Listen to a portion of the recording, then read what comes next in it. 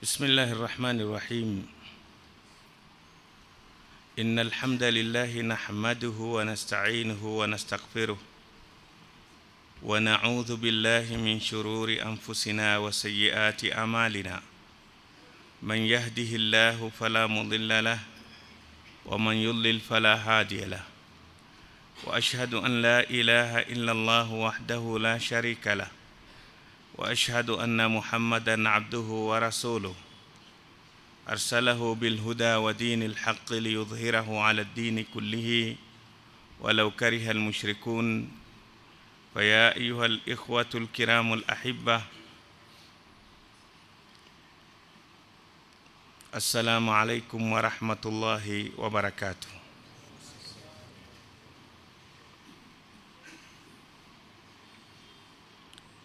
Baada ya kumshukuru Allah tabarak wa taala na kumtakia rahma kipenzi chetu mtume Muhammad sallallahu alaihi wasallam, ni fursa tena iliyotujia katika siku ambazo kila zinaposonga basi kheri zake zinazidi kuwa nyingi kinachohitajika ni kuzijua kwamba siku hizi hamna badali yake. Linalotakikana ni kila mtu kutengeneza ikhlasi yake, kwa sababu ikhlasi ni moyoni, ni nia, na ni nia ni kubwa kuliko amali. Salafu saleh kama sikosei, Abdullah al-Mubarak asema taallamu niyata fa inna niyata ablaghu min al-amali, jifundisheni kutengeneza nia zenu ziwe mzuri, kwa sababu nia inafika zaidi kuliko ule utendaji wako. Rubba amalin saghirin kaburat niya wa rubba amalin kabirin saghurat min ajli niya, huenda amali ikawa kubwa, ukafanya jambo kubwa lenye gharama likakugharimu afya yako, wakati wako, mali yako, lakini nia yako kwa Allah ilikuwa ina mchanganyiko, si ikhlasi kamili basi malipo yake yakawa madogo. Na yawezekana ukafanya amali ndogo, lakini nia ikawa kubwa, lengo akawa ni Allah peke yake, hakukuingia shubha nyingine, malipo yake yakawa makubwa zaidi. Hebu leta taswira hii. Baghia min baghaya bani Israil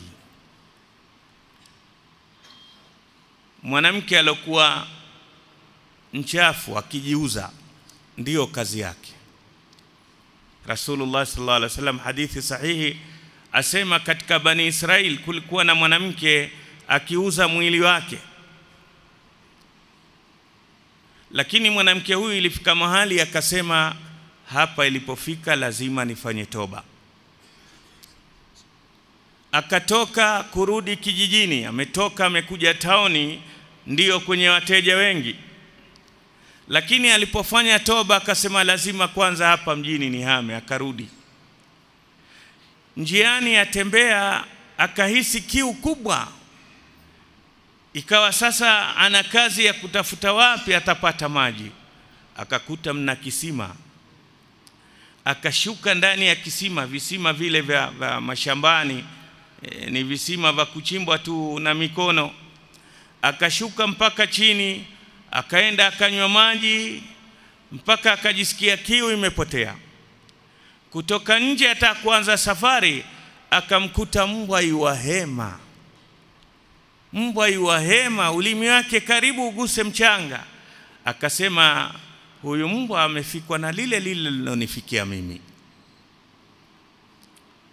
Kwa hivyo peke yake jangwani, hakuna mtu na hiki ni kiumbe cha Allah kama nilivyoumbwa mimi, kinasikia shida kama ninayoipata mimi.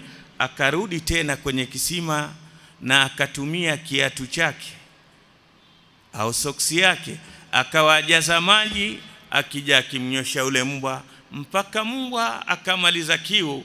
Rasulullah sallallahu alaihi wasallam asema kwa kazi hii aliyoifanya Allah akamsamehe dhambi yake na akaingia janna. Mazingatio hapa ni mambo matatu. Kwanza, mwanamke alikuwa akifanya kazi chafu, ni mwanamke mchafu, baghia, anayejiuza mwili. Bila shaka huyu alofanya tendo hili mwenyewe hana thamani, au sio? Mwanamke wa aina hii mwenye biashara ya kujiuza mwili ana thamani? Hana mbele ya watu.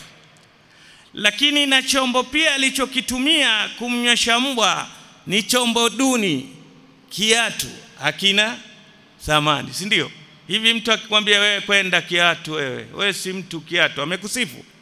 Naam, amekutukana sana eh? Amekuandareti mpaka akakufanya kiatu kutoka kwenye mtu.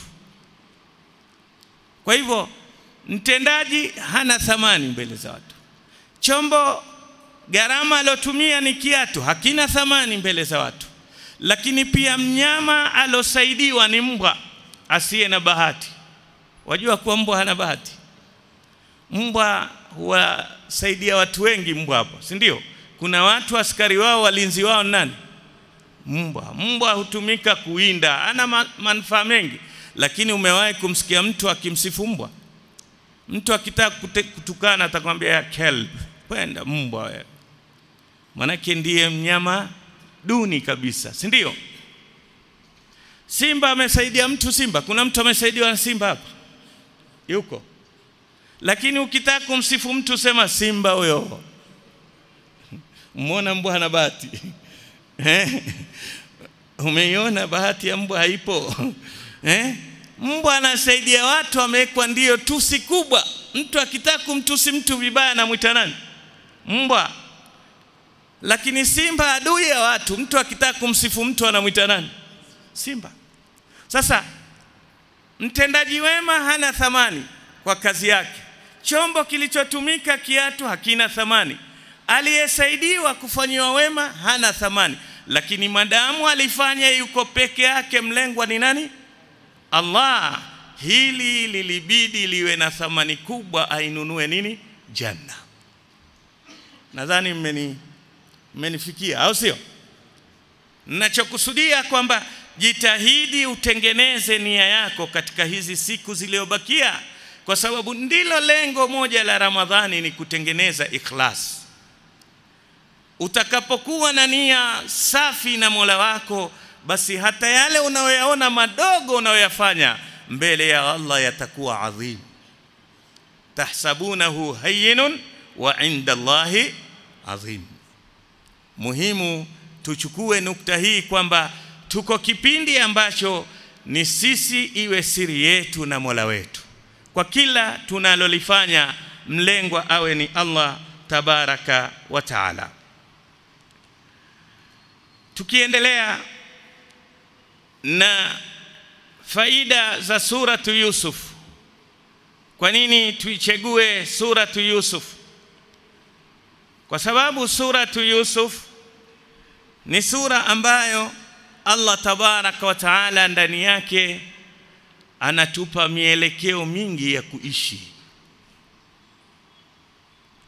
Moja katika mwelekeo, jana tumeona kwamba kisa cha Yusuf chatufunza sisi kwamba tusibadilike kwa wema, tuwe wema tukiwa katika hali mbaya ngumu, tuwe wema tukiwa katika hali mzuri, kwa sababu anayependa wema ni Allah tabaraka wa taala, ambaye yuko hai haondoki. Na ndiye Yusuf walio gerezani walimwona ni mwema, wakamwambia inna naraka minal muhsinin. Lakini pia walokuja kutafuta msaada wasaidiwe chakula, sifa waliomwona naye Yusuf alimwambia inna naraka minal muhsinin.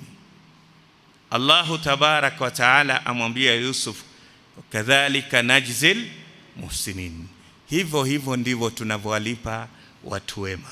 Kwa hivyo uwe na picha moja, usiwe na picha nyingi katika maisha, kwa sababu wema ni ibada na ibada yatakikana idumu mpaka kufa kwako. wabud rabbaka hatta yatiyaka alyaqin ya ayuha alladhina amanu ittaqullaha haqqa tuqatih wala tamutunna illa wa antum muslimun.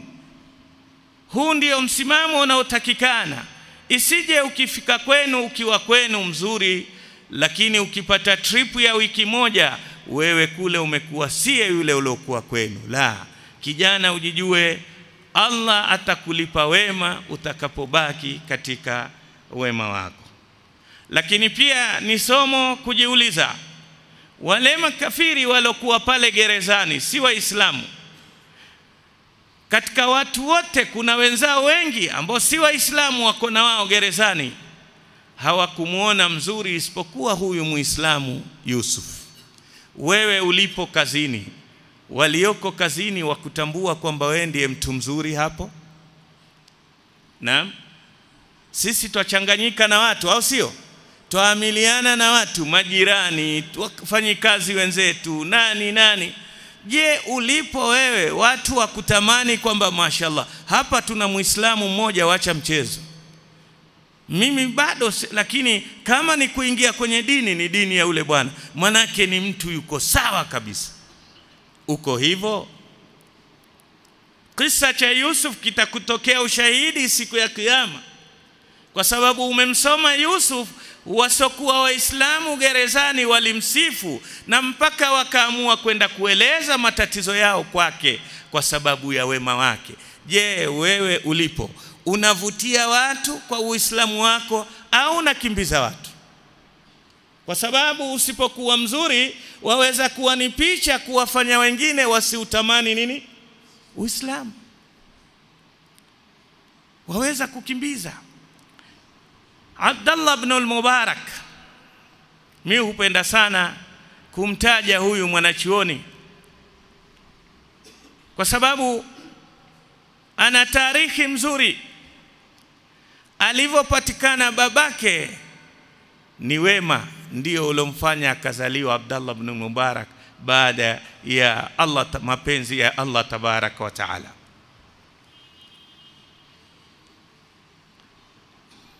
Yeye mwenyewe Abdallah ibn al-Mubarak alikuwa ni mfano wa Uislamu. Abdallah ibn al-Mubarak alikuwa akiishi kwenye mtaa yeye na Myahudi, jirani zake Mayahudi. Akaamua Abdullah ibn al-Mubarak rahimahullah kuhama kwa hali za maisha yake, kuondoka pale kwenda mji mwingine. Akatangaza kuuza nyumba yake matajiri wakawa wanakuja wanaiasesi ile nyumba ilivyo, hii inafaa pesa ngapi?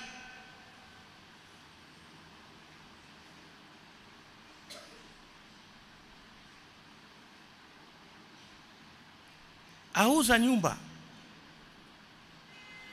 Myahudi yule akachukua kandarasi yeye kama agent wa kutafuta namna ya kuiuza ile nyumba.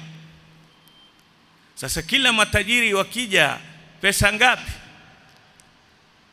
La, alikuwa akiuza ni yule jirani yake Myahudi. Yule Myahudi ndio yuwauza nyumba yake ataka kuhama. Sasa kila anayekuja kuiangalia ile nyumba amwambia, wauza bei gani? Asema dinari elfu mbili.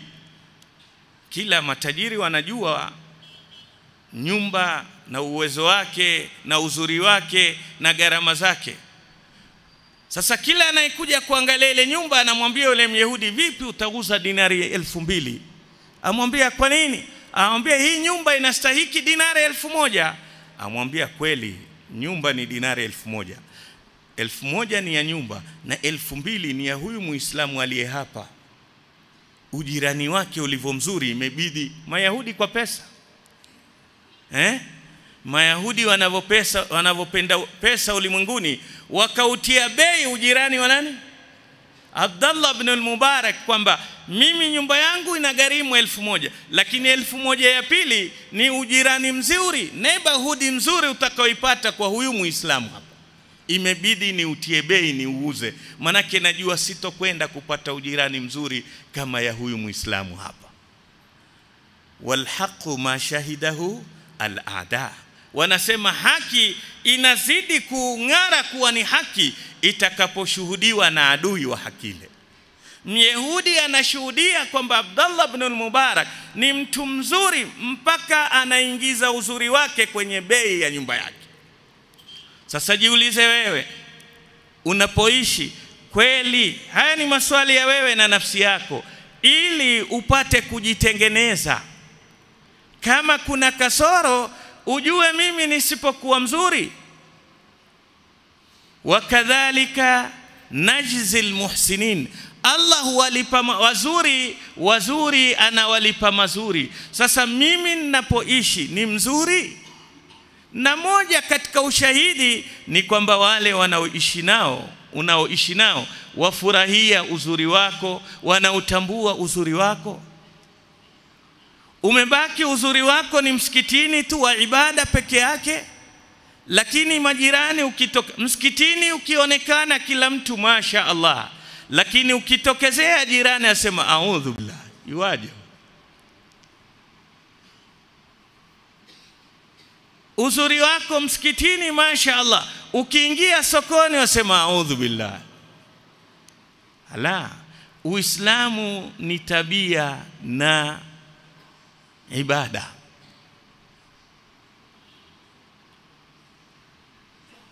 Abdul Kafi rahimahullah, mmoja doktora Abdul, profesora Abdul Kafi ana maneno mazuri sana, mwanachuoni huyo wa Masri, asema naajabishwa na waumini na Waislamu. Katika Qur'ani. Msikilize vizuri, katika Qur'ani aya zinazoamrisha kuabudu ni mia moja na thalathini. Aya zinazomwambia Muislamu muabudu Allah ni mia moja na thalathini. 2% ya Qur'ani. Lakini katika Qur'ani aya zinaoamrisha tabia njema na kusifu tabia njema ni elfu moja mia tano na nne. Tuko pamoja Waislamu? aya zinaoamrisha tuwe na tabia njema na miamala mizuri na sifa za wenye tabia njema ni elfu moja mia moja mia tano na nne 24%. Kwa hivyo aya zinaozungumzia tabia ni 24%, aya zinazozungumzia ibada ni 2%. Ni gap kubwa, si kubwa hiyo? Lakini waangalie Waislamu wasema katika hii 2% na 22% hata wale walioishika ile 2%, 24% hawapo.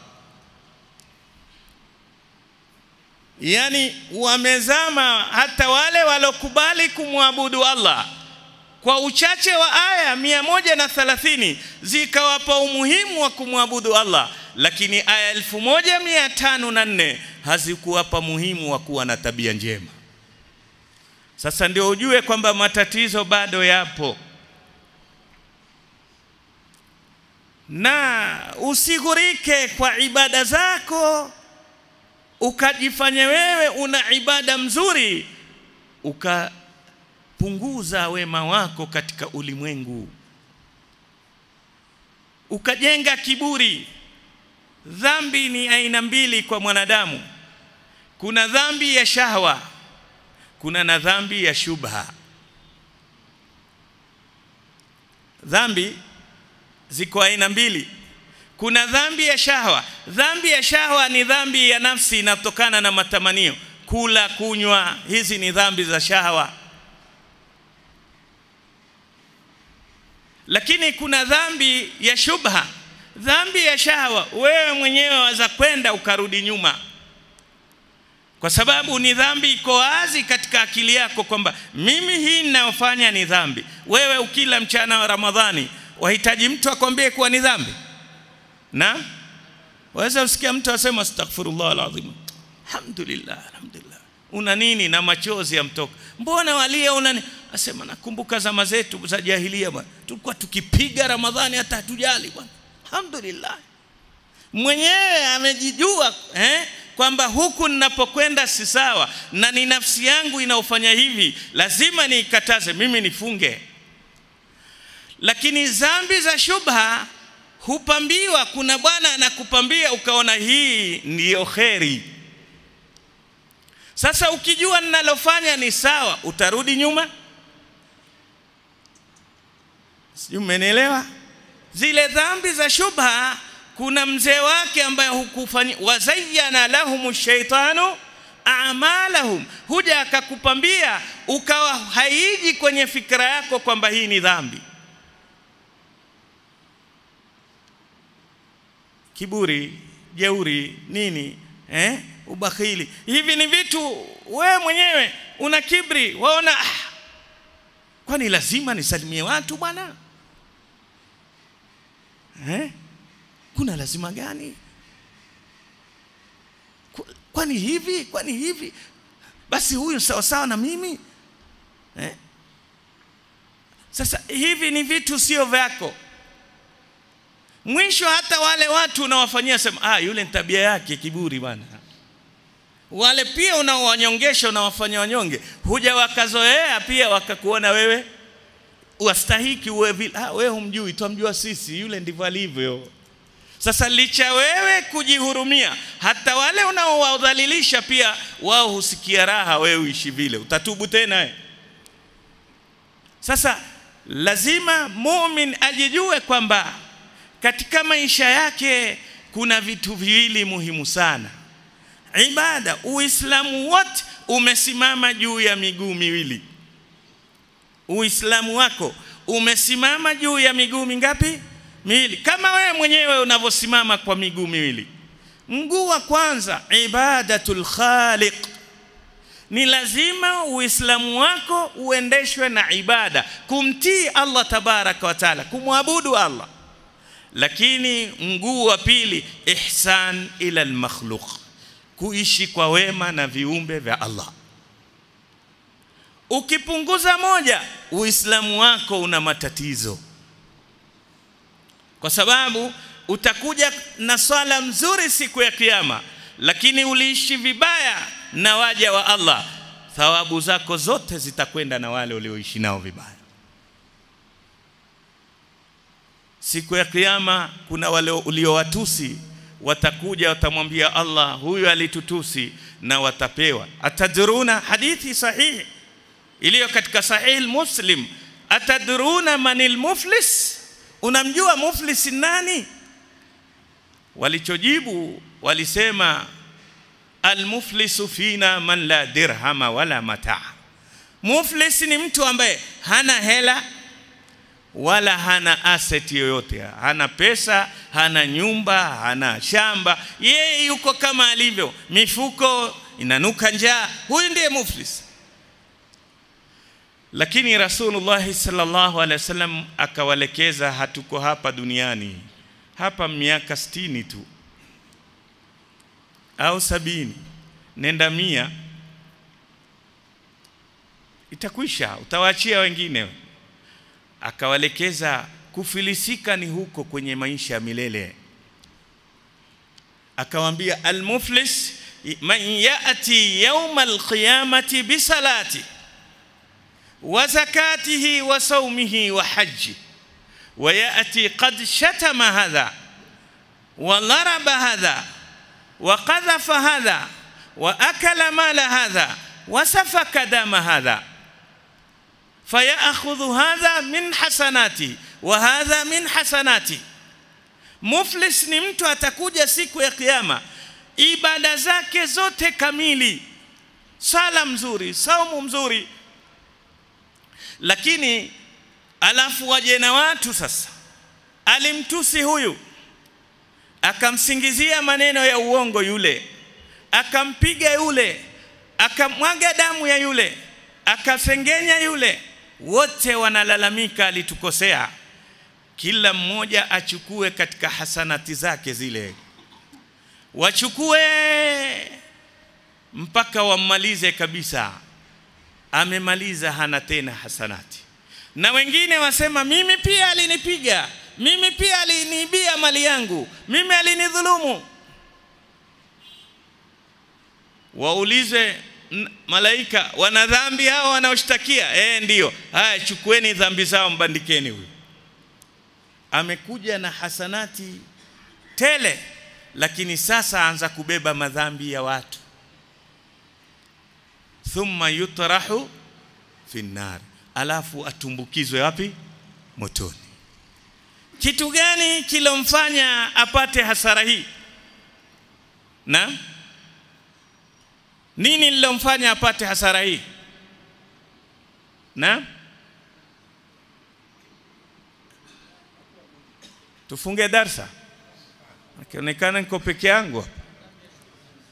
Ni nini? Kukosa tabia njema.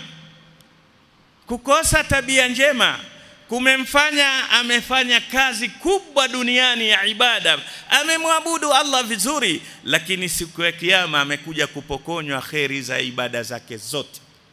Kwa hivyo usiweke ibada ya swala mbele ukaishi vibaya na jirani. Haya mambo mawili yaenda pamoja.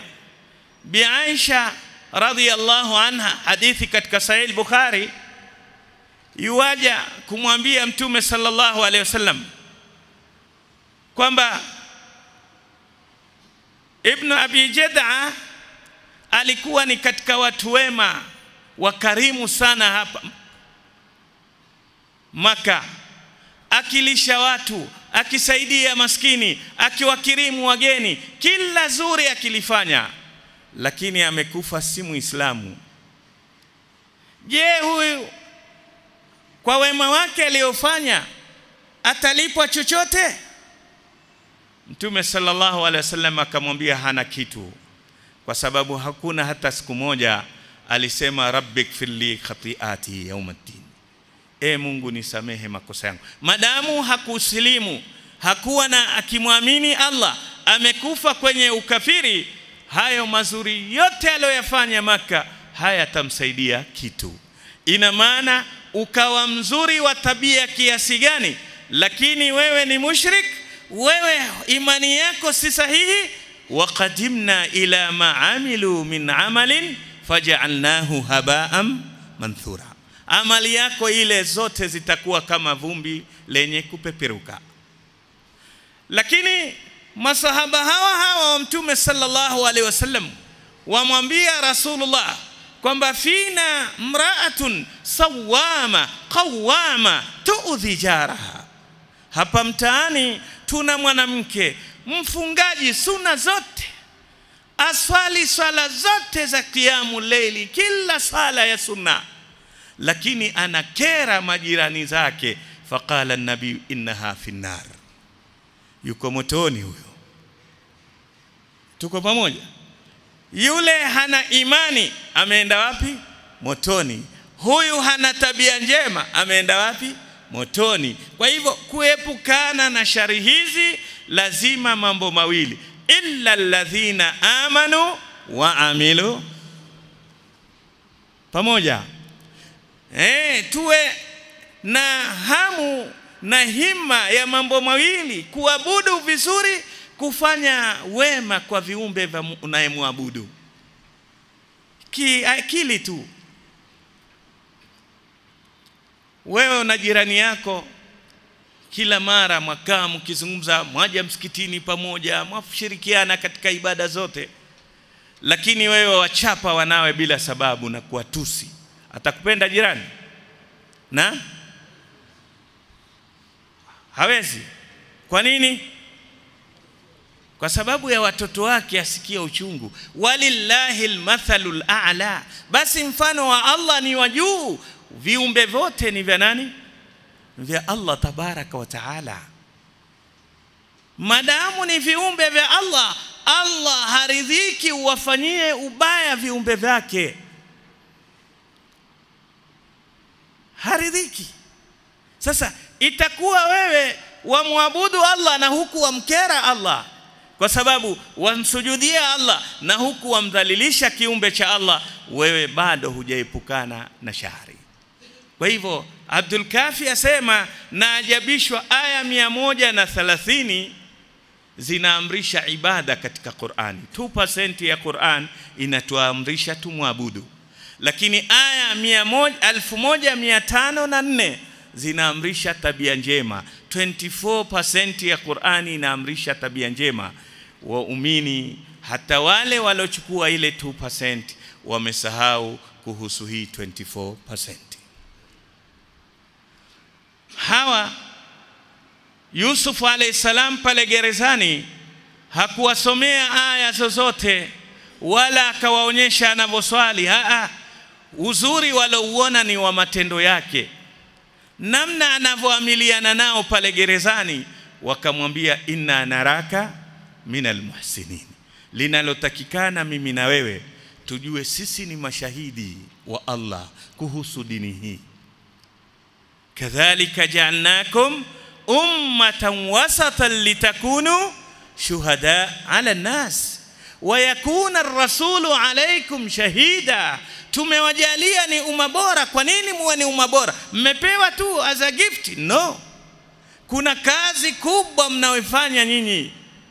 Kila unapotajwa umma huu kuwa un, un, ni umma bora, unapewa na sababu, kuntum khaira ummatin ukhrijat linnas ta'muruna bil ma'rufi wa tanhauna 'anil munkari wa tu'minuna billah, wema wenu na kukimbiza watu kwenye ubaya, wenu, ubaya wao na imani yenu kwa Allah, ibada zenu. Hilo ndilo linalothibitisha ubora.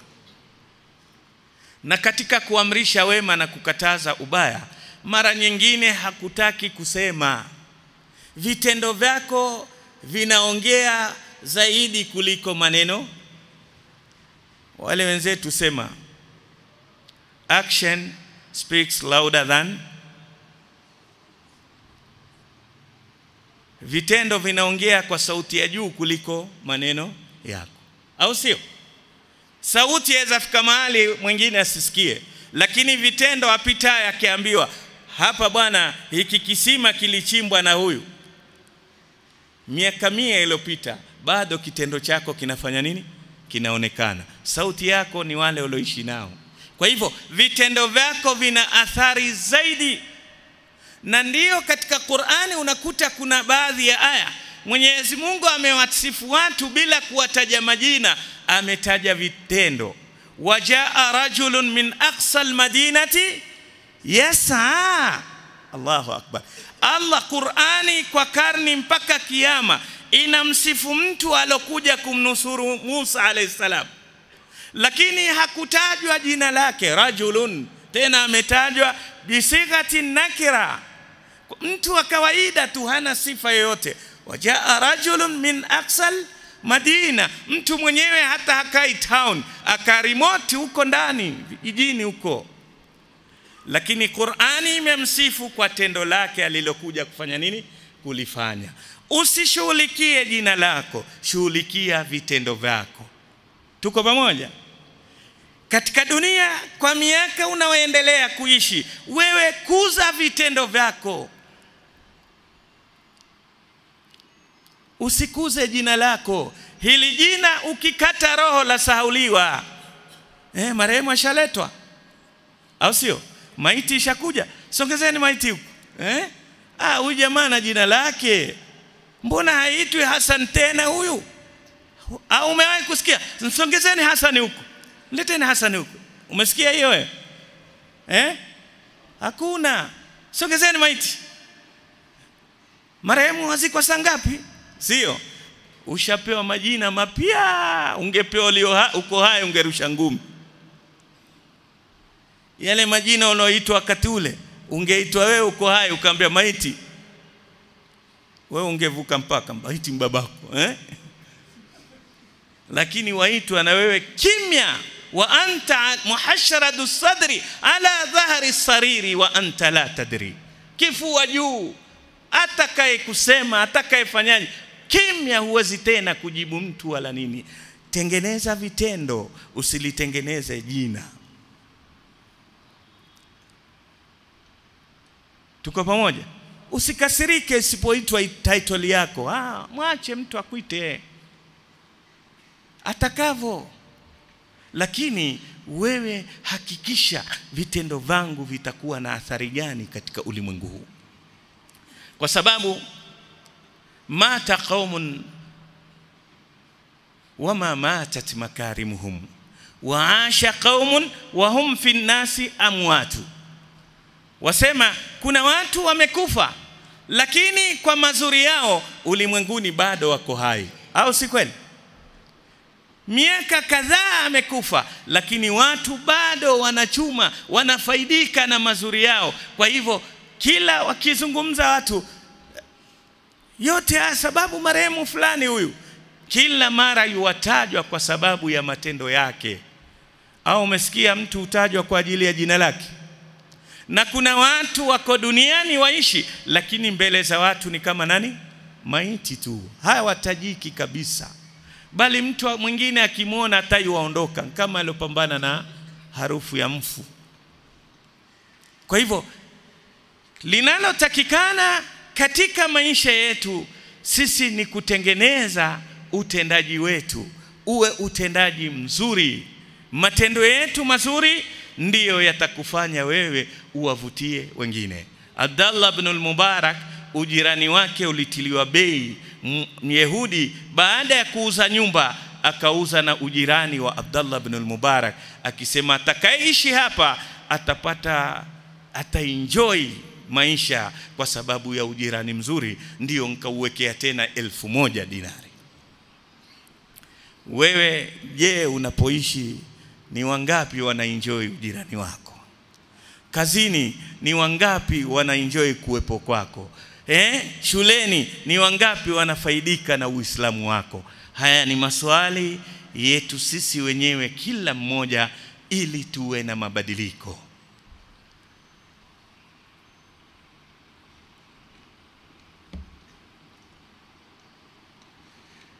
Katika kisa cha Yusuf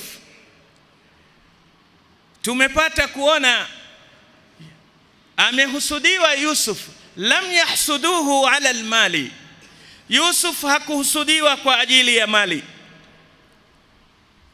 au alikuwa na mali ndio wenzake wakamhusudu? La, lakini Yusuf amehusudiwa na ndugu zake kwa ajili ya gani? Kwa sababu ya upendo ulioko kati yeye na nani? Na babake. Sasa wanavyoni wa malezi wasema wakati wote tengeneza ataya alqalbi, moyo wako uwe unatoa mazuri kuliko kutoa mkono wako, kwa maana tengeneza mapenzi. Mapenzi ndiyo yana thamani kuliko vitu. Waweza ukampa mtu kitu lakini bila ya kujenga mapenzi, kitu kile asikione thamani yake. Lakini waweza huna kitu, lakini mapenzi yako kwa mwenzako yakamjenga yule mtu katika maisha yake. Tumeelewana?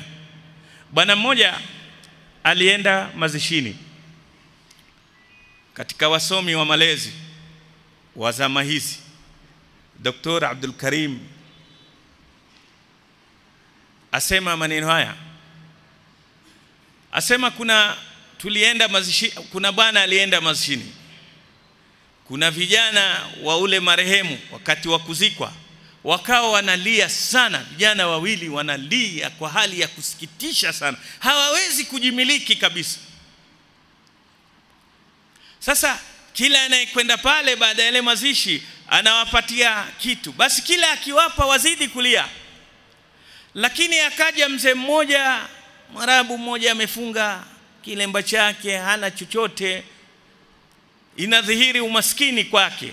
Akawajia wale vijana, akawashika, akasema, hakika mimi ni mmoja, nimesikitika sana kwa kifo cha baba yenu fulani, lakini kwa sababu nilikuwa sijui kama ameacha simba wawili kama hawa lakini kwa kuwa amewaacha nyinyi, najua baba yenu bado yuwaishi, bali maisha yake yatakuwa zaidi maradufu kuliko vile alivyokuwa akiishi, na imani biashara zake zitaendelea zaidi, mambo yake aka akawaambia maneno mara wale vijana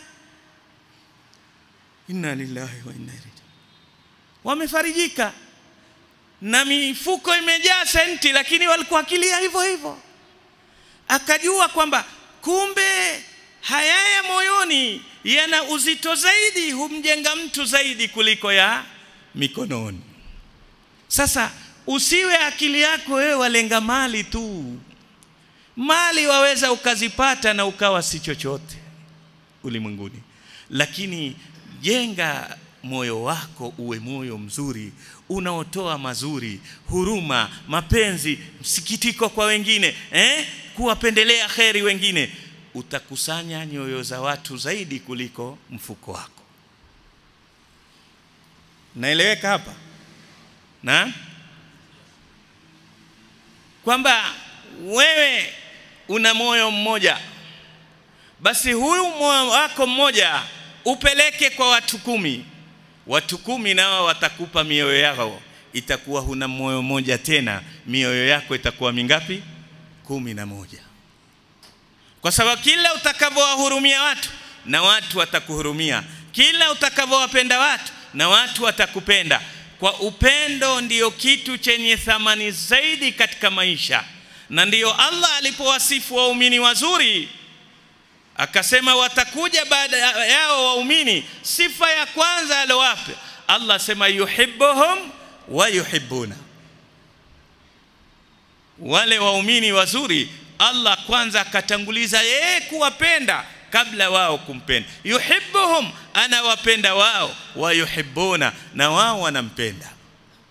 Na vipi sifa ya mtu anayependa watu? Adhillatin ala almu'minin adhillatin ala almu'minin. Mpenzi muumini mpenzi ni yule ambaye kwa waumini wenzake ni mnyonge yuko chini Mmenielewa? Mtu mwenye moyo mzuri wakati wote kwa waumini wenzake adhilla wako anajiweka chini. Aizzatun ala aizzatin ala kafirin. Ule ubabe wake anawaonyesha wale wanaomchukiza Allah tabarak wa taala.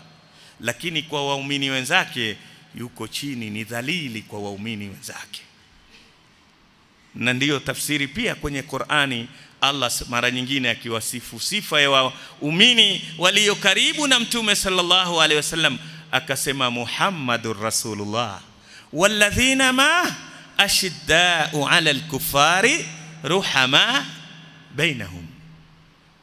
Muhammad ni mtume wa Allah na walio pamoja na Muhammad sifa yao kubwa ni hii ashidda ala alkufar wakakamavu kwa makafiri lakini ruhama bainahum. Kwa waumini wenzao na ni wenye huruma kuhurumiana wao kwa wao. Kwa hivyo kilichomfanya Yusuf achukize wa muhusudu si kwa ajili baba alikuwa akimpa zaidi kuliko mwe. kwenye ugawi ilikuwa sawa kila mmoja hakufanya dhulma Yakub katika kuwagawia. Lakini wajua mtume sallallahu alaihi wasallam anasema huu moyo si umiliki hakuna anayeweza kumiliki moyo katika mapenzi. Mtume alikuwa akigawanyia wake zake anasema mimi Allah Allahumma mimi katika kugawa nafanya sawa eh katika kutoa ninazo miliki mimi. Lakini katika kuumiliki moyo ni wewe Allah tabarak wa taala. Ndiye anaumiliki nini? Moyo. Sasa haina maana kwamba Yakubu alikuwa akidhulumu watoto wake wengine Yusuf akimpa zaidi kuliko hapana. Ulikuwa mgao wa sawa ila tu mapenzi kwa Yusuf yalidhihirika ni mengi kuliko na hilo huwezi kuli kulikontroli kwa sababu jambo hilo la mapenzi linatoka kwa nani? Kwa Allah. Lao yalikuwa mapenzi mtu aweza kuyakontroli. Kuna watu hupenda vitu vya muumiza si ndio? Na akakipenda au sio waweza kupenda kitu cha kuumiza na ukakipenda. Na kama hujabahatika mshukuru Allah tabarak wa taala. Lakini kuna watu waumia kwa mapenzi. Hmm? au sio? Wewe washa moshi hapa ukute kila mmoja atakimbia. Mbona tuashia moshi bwana chifu wangu ah nini? Lakini mtu utoa pesa akavuta moshi si ndio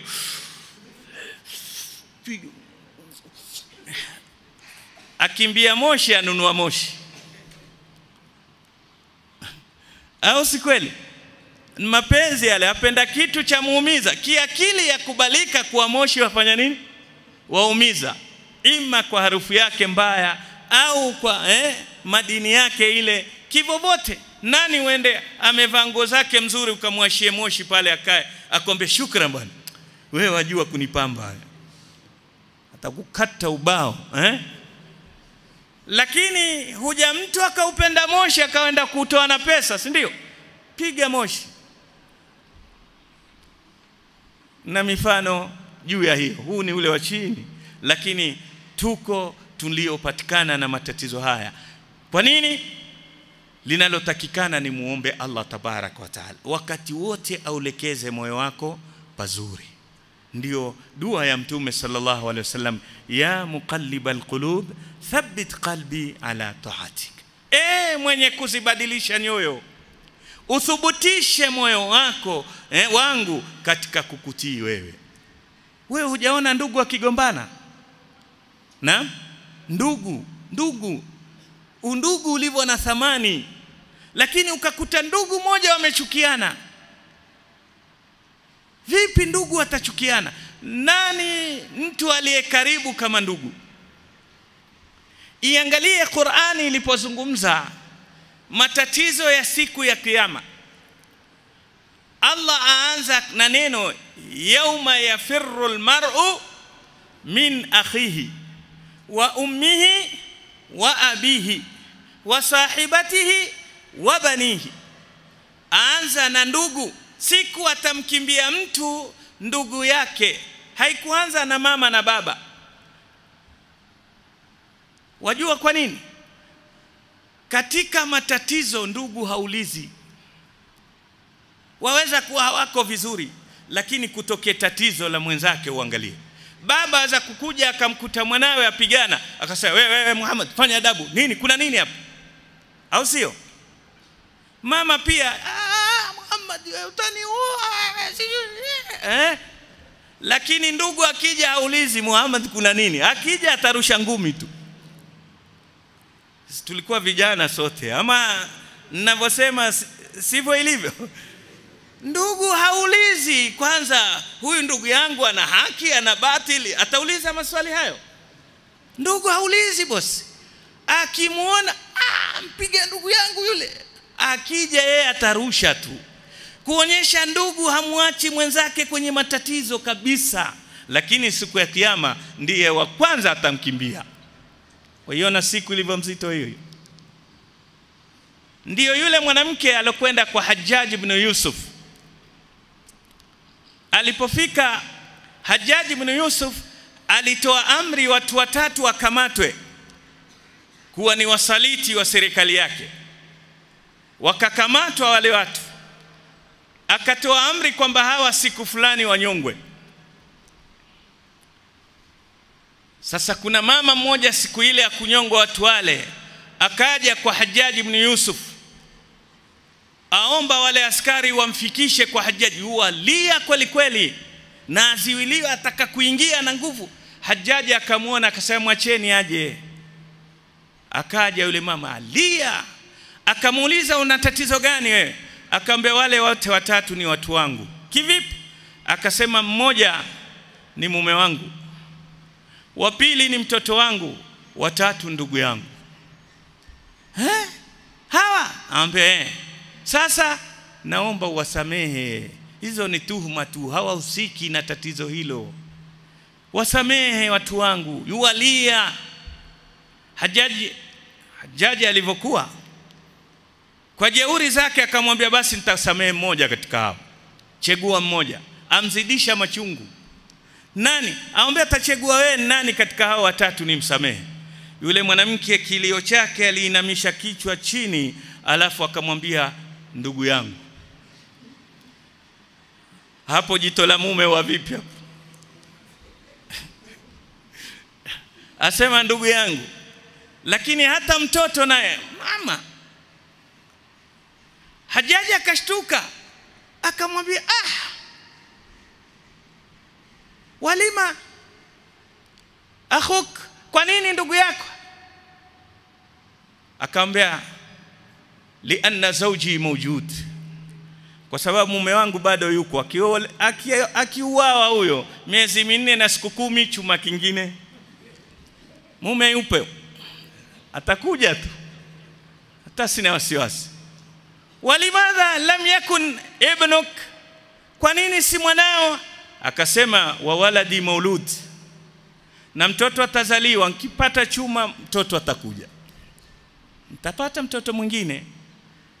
Akamwambia walakinna akhi mafqud. Lakini ndugu yangu siwezi kupata mwadala yake. Ukimuua kama watano wamebaki watatu. Huyo mmoja ushampunguza wanne wamebaki watatu mmoja ushampunguza wala hakuna nafasi itakaojaza kwake. Ndugu tieni akili.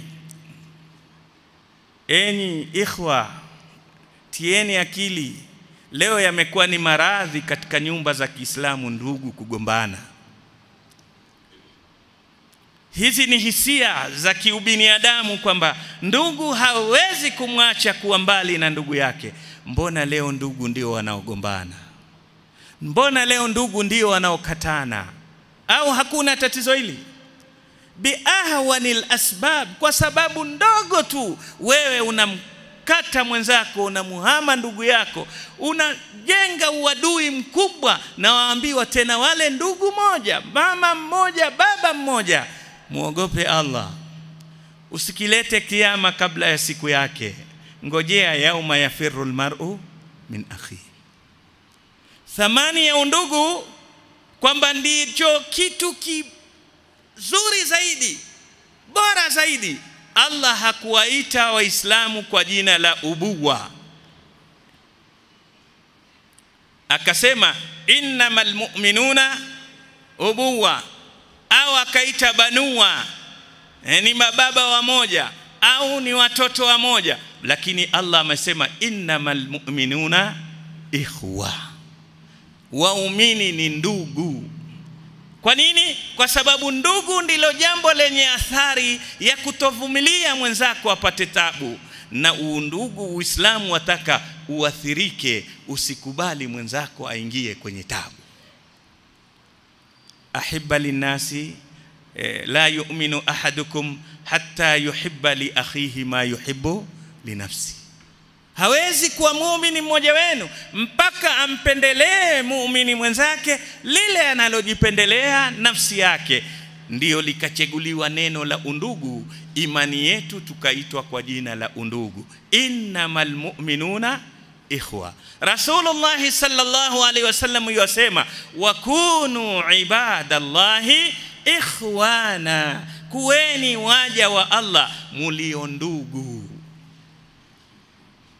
ni ya kusikitisha kwamba leo waislamu tumekuwa mbali mbali na Allah akatutaka tuwe ndugu. Lakini nini limesababisha hilo? Ni hii sehemu ya pili. 24% ya Qur'ani tumeiacha. Sehemu ya tabia njema imepotezwa na ndio undugu wetu ukafanya nini? Ukatelekezeka kiasi tutakavyoshukua na tabia njema ndivyo undugu wetu utakuwa mzuri zaidi. Tabia njema ndiyo itakufanya wewe umvumilie mwenzako. Kama huna tabia njema huna uvumilivu huna subra tabia njema ndiyo itakufanya wewe uathirike na mwenzako ukubali kukosa wewe kwa ajili ya mwingine mwenzako apate. Mpaka tabia na ndiyo usishangae nikasema aya mia moja na thalathini zimezungumzia kumwabudu Allah. Elfu moja na mia tano na nne zazungumzia tabia. Kwa sababu kwa nini aya za ibada ziwe chache? Kwa sababu akili ya kubali alokufanyia wema umlipe wema. Allah amekuumba amekupa neema zake. Kuambiwa kumwabudu si jambo zito katika akili kiumbile la mwanadamu lakini kumfanyia wema sio kufanyia wema. Mwanadamu kama wewe wewe una hela utoe hela zako umpe bila ya sababu. Hapa kuna kazi. Na hiyo ndio tabia. Ndio aya za tabia zikawa nyingi manake sio kazi rahisi. Wewe kichwa kimeumia hulali eh, mahisabu. Maskini yule akishapiga ugali wake sima yake ile na mboga zikikaa vizuri tu mpe dakika kumi anang'orota. Au sio? Ugali na maji tu lakini akishiba dakika kumi tu amelala. Tajiri yule meza ile kila aina ya maua yako pale ya chakula. Lakini aweza kutafuta usingizi masaa kadhaa usingizi hauji. Kwa sababu ya shughuli zake nyingi biashara zake. Sijui kera imemfuata sijui kuna nini kuna hili kuna tatizo lile kuna lile. Huyu kupata usingizi wengine mpaka apige kidonge si ndio? Ameze vidonge ndio wafanye nini? Sasa kisha tu aje wampita karibu. Njoo habibi vipi hali yako? Wewe wafikiria ni kazi ndogo hiyo wewe wafikiria mpaka Allah kumwambia mtume waombee matajiri dua? Mtume aambiwa waombee matajiri dua. Waijua hiyo haya wewe? Au mageni leo? Wengine waweza kusema huyu ajipigia debe kwa matajiri. Qur'ani katika watu walioamrishwa na Allah kumwamrisha mtume awaombee dua matajiri. Khudh min amwalihim sadaqatan tutahhiruhum wa tuzakkihim biha wasalli alaihim. Mtume ambiwa wasalie matajiri. Kwa sababu ya kutoa mali yao kuwapa watu. Mtu hana uhusiano naye lakini akamwona huyu bwana bidii yake maskini huyu. Nikimpiga milioni mbili kesho naye atainuka huyu. Wewe fikiria ni kazi ndogo hiyo. Kuna watu waambiwa na mama yao aya mwanangu kuanzia jana tuna umeme. Ah mama. Basi sikukuu hii ndio wanaambia mambo ya umeme sasa hapa nyumbani bwana mimi watoto wangu pia hajapata nguo. Amjibu mamake basi. Sasa huyu aweza kumwona maskini tu ambaye hamjui hana uhusiano naye. Akatoa hata elfu kumi akampa huyu. Lile tendo zuri la tabia njema walioidhihirisha kuweza kutoa mali yao kuwapa maskini Mtume sallallahu alaihi wasallam aambiwa wasalli alaihim wasalie waombe dua ndiyo nikasema usiangalie faili ya mwenzako usiangalie mtihani pepa la mwingine. Kila mmoja aangalie pepa lake. Usiseme kwamba ah, ah, matajiri hao watachomwa hao. Ah, ah. masala ya moto shekhe si yako. Fanya adabu. Yana mwenyewe usitaje kabisa jambo la moto kwa mtu kabisa. Hata uwe umeona umekuwa nani uenda kuswali mbinguni ukija asubuhi ukiteremka ardhini. Usitaje kwamba Allah atamchoma huyu atamchoma huyu. Ushamuudhi kabisa Allah tabarak wa taala.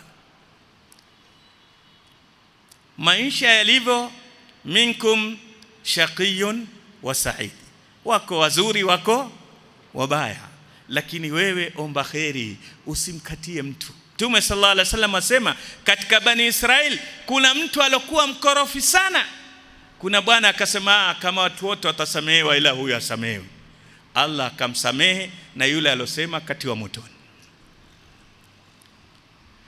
Hii ni mamlaka kuu usiingilie. We nenda kaingilie mambo ya ikulu kama tutaona tena hata viatu vako nenda nenda. Hebu toa vineno vako tu siku moja waangalie kama tutaona hata kiatu chako tutakiona tena hapa ulimwenguni. Ikulu tu hii ya mwanadamu ambaye mara na yeye ameondoka. Wasema masala ya Allah mbinguni watakuchukua mamlaka wewe. Ah hawa wale wale tu kuni za moto tu. Mche Mwenyezi Mungu.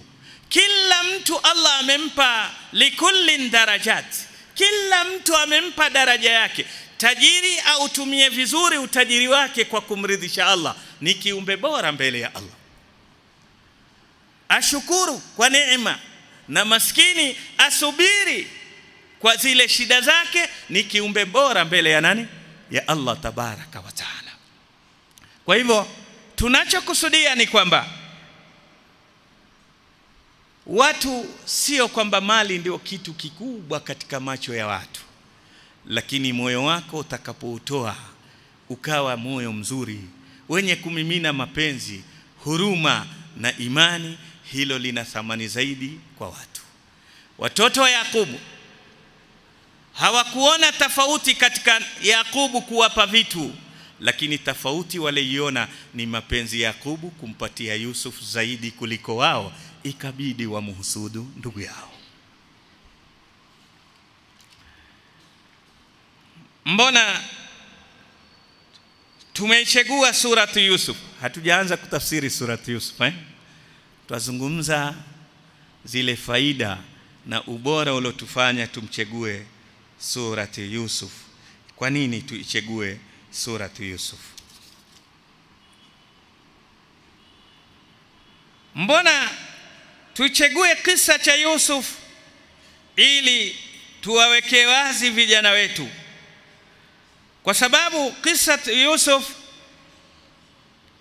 kinatufundisha tuwe na tahadhari katika maisha. Tahadhari gani? Kisa cha Yusuf tatuambia hata mwovu aweza kujifanya mzuri akiwa na lengo la wema, la uovu wake. Watoto wa Yakub walipotaka kwenda kumuua ndugu yao, lugha walokuja nayo kwa Yakubu wamwambia, wa inna lahu lanasihun, sisi tutakwenda kumpa nasaha, tutamfanyia counseling Yusuf aingie awe ni kijana mwenye mwelekeo, mwenye focus. Wa inna lahu lahafidhun, tena tutakwenda kumlinda eh? Ina maana hata mwovu aweza kukwambia nakupa ushauri. Ushauri hautoki kwa mwema, hata muovu aweza kuja kwa lugha ya nini, ya ushauri. Chukua tahadhari ya ushauri wenyewe. Huyu anayenipa ushauri ni nani? Ndio wema waliotwambia salafu saleh kwamba angalieni wapi mnachukua elimu, kwa sababu alilmu min ad-din, talabu alilm min ad-din, kule kutafuta elimu ni katika dini. Fandhuru mimman tataallamuna min, angalieni ile elimu yenu mwaichukua mtu gani? Aweza mtu akakwambia bwana, mimi bwana kama utaishika ina saa yangu wewe ushatoboa katika maisha. Wewe bwana wafanya kazi miaka kumi pale bwana, pesa ziko, we bado adhalilika tu, mshahara ndio huo mbuzi eh? Kule jamaa wasema kuna mshahara mbuzi, ina maana kuna na mshahara ngamia, sio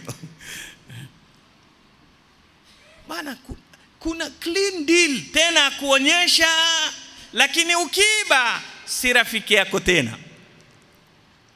Asa mimi nilijua ile jamaa toboi pale. Ah, tumecheza sote shule. Yule alikuwa kibaraba za wenzake eh?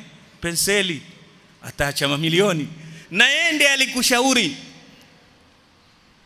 Tumeelewana? Si kila mtu ni nasaha kwake, na watu wote wataka nasaha. Angalia shetani alivyomwovu. Shetani ndiye deiwani kuumbwa Adam yeye kugombana na Mola wake, kisa na sababu ni nani? Adam. Kule kuambiwa usjudu li Adam, akasikia wivu mpaka akaamua atoke kwenye rehma ya Allah. Lakini alipotaka kumpoteza Adam, alikuja kwa lugha ya nasaha, hal adulluk hal adulluka ala shajarati الخلد؟ amwambia Adam sikuonyeshi mti ambao lao utakula wewe hufi tena. Wajua umbile la mwanadamu ni kufa, utaishi ufe, lakini kuna mti hapa hapa hapa peponi, ukila mti huyo hufi tena, wewe utaishi milele. Wewe uambiwe kuna chanjo, ukidungwa basi wewe korona hii utaikimbilia, uikimbilii eh? kuna chanjo, ukipigwa chanjo hiyo korona kabisa, hata mlango wa nyumba ikaribii, tapiga chanjo mpaka paka we.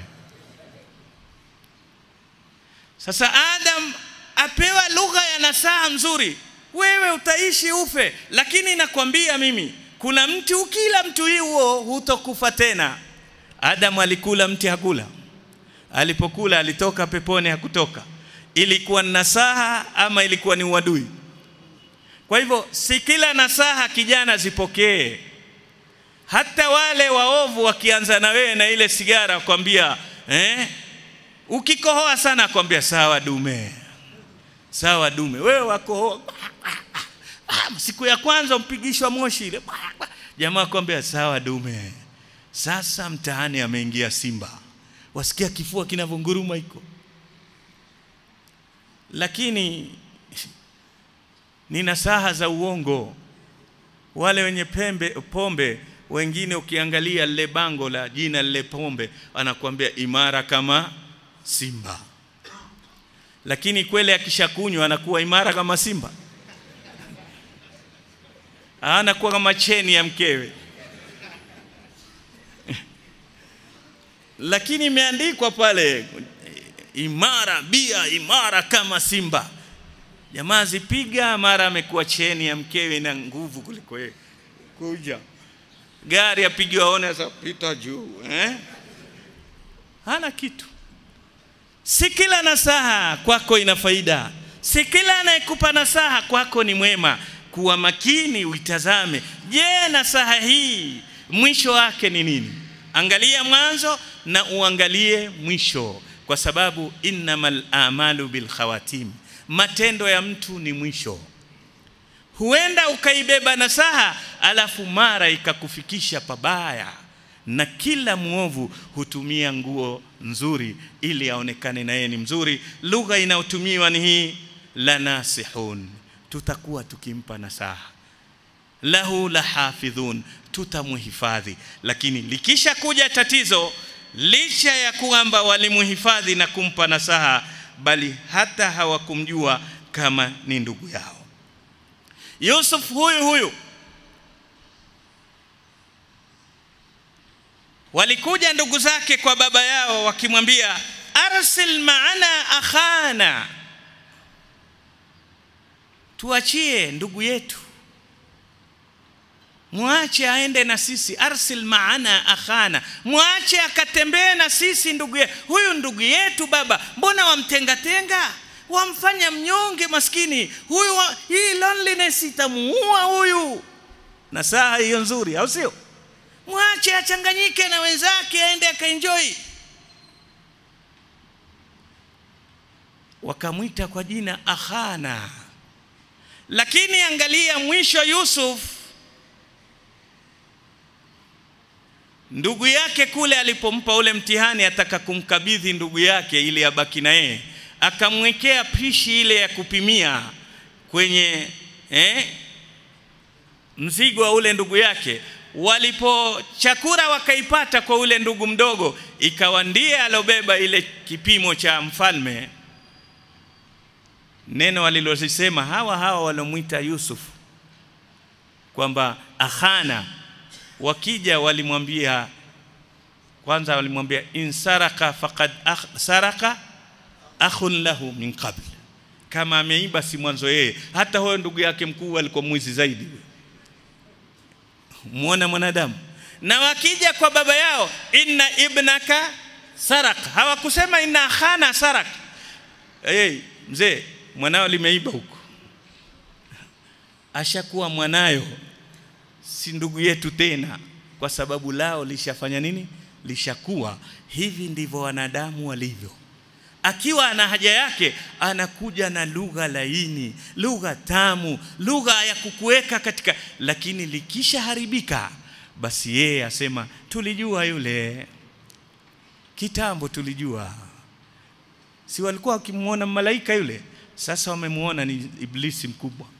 Wale wale walokuwa wakikuvuta kule ndio wale wale wa kwanza kukusema. Hatari ya ulimwengu uchawi wa ulimwengu. Na ndio juzi hapa nadhani nilisema sihru dunya a'dhamu min sihri haruta wa marut. Uchawi wa dunia ni mkubwa kuliko uchawi wa ule ulioletwa na malaika wale haruti na maruti kwa sababu uchawi wa harut wa marut yufariku baina almar'i wa zawji. Nguvu ya uchawi wa mwanadamu au kiumbe utamtenganisha mtu ukifanya ukifaulu sana ni kumgombanisha mke na na mume. Lakini inna sihra dunya yufariku baina almar'i wa rabbi. Uchawi wa dunia unakutenganisha wewe na nani?